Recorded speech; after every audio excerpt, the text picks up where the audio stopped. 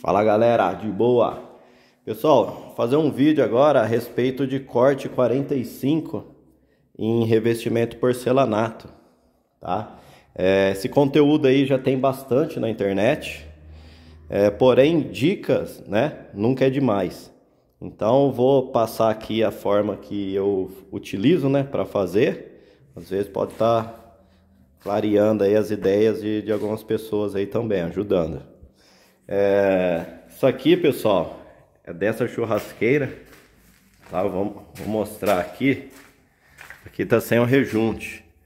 Então é para dar esse acabamento aqui, ó. Depois a gente vem com uma massa plástica na cor e dá o acabamento. Então, pessoal, o que que primeira dica. Essa é a pedra que eu vou trabalhar é você colocar ela em ângulo.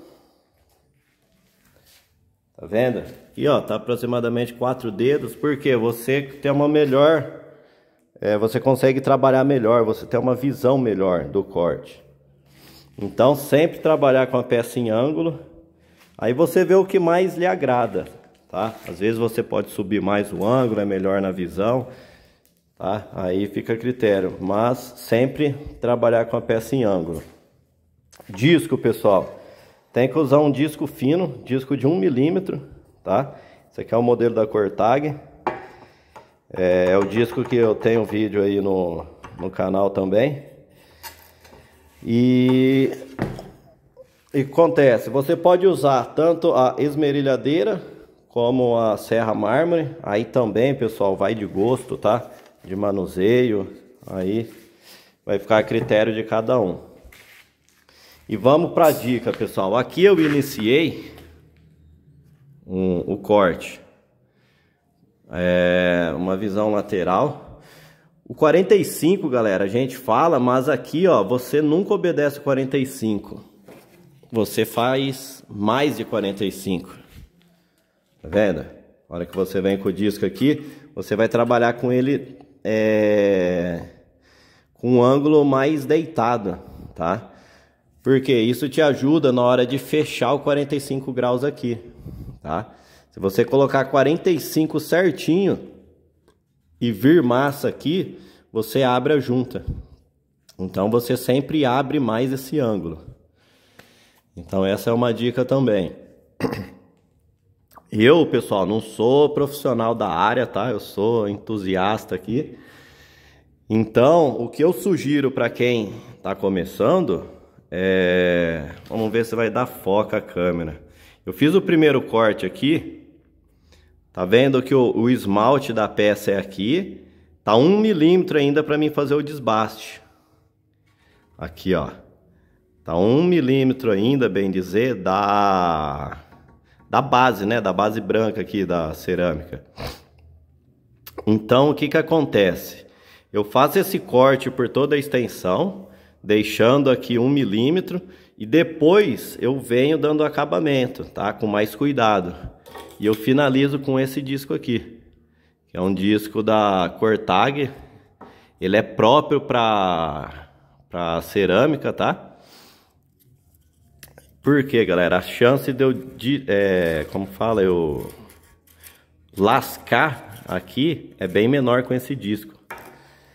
Porque ele não tem esse poder de corte tão agressivo que se pegar no esmalte ele lasca. Esse daqui, ele é bem dizer, é, é, é lixa, né?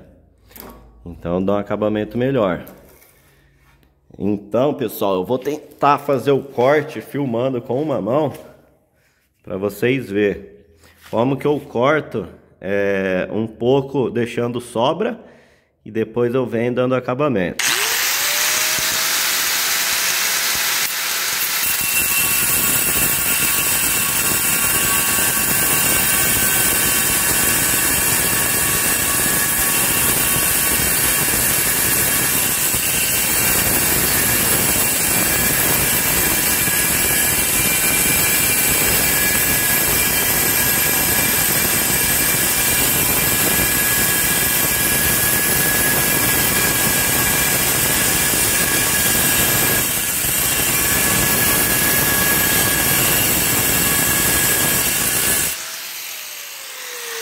Então, pessoal, avancei.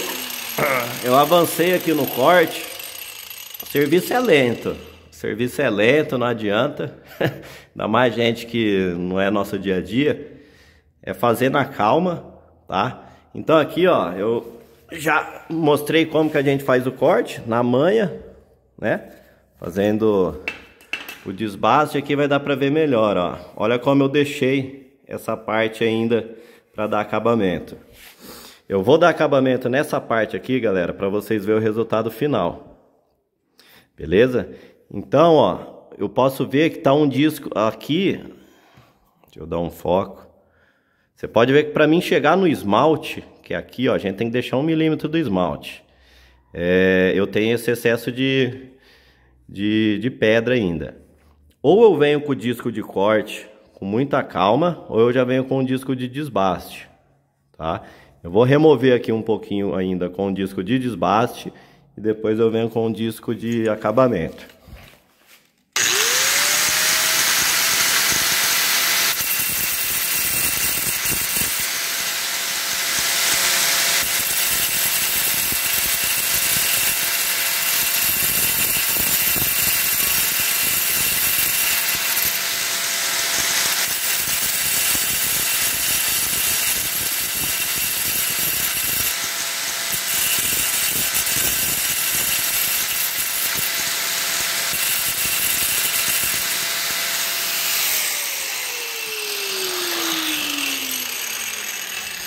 Então, pessoal, aqui, ó, já está meio que no limite, tá? Se eu tentar avançar mais que isso no disco de corte, e ele pegar no esmalte, é pegar e abrir a lasca, tá?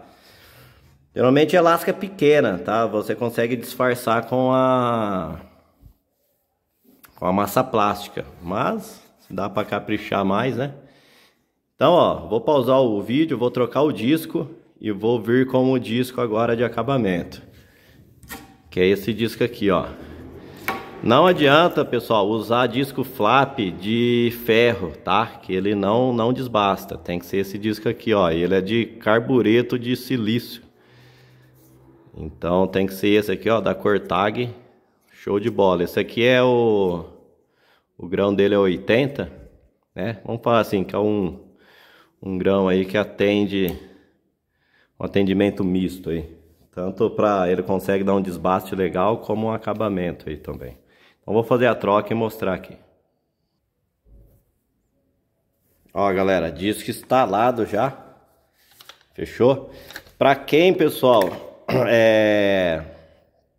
tiver dúvida como utilizar esse disco aqui na esmerilhadeira, tem um vídeo no canal aí também a respeito de como fazer uma pecinha dessa, tá? Fazer ou comprar. Hoje já existe umas esses adaptadores aqui próprio para esmerilhadeira para usar disco de serra mármore. Então vamos lá, galera. Agora com uma mão, vamos ver.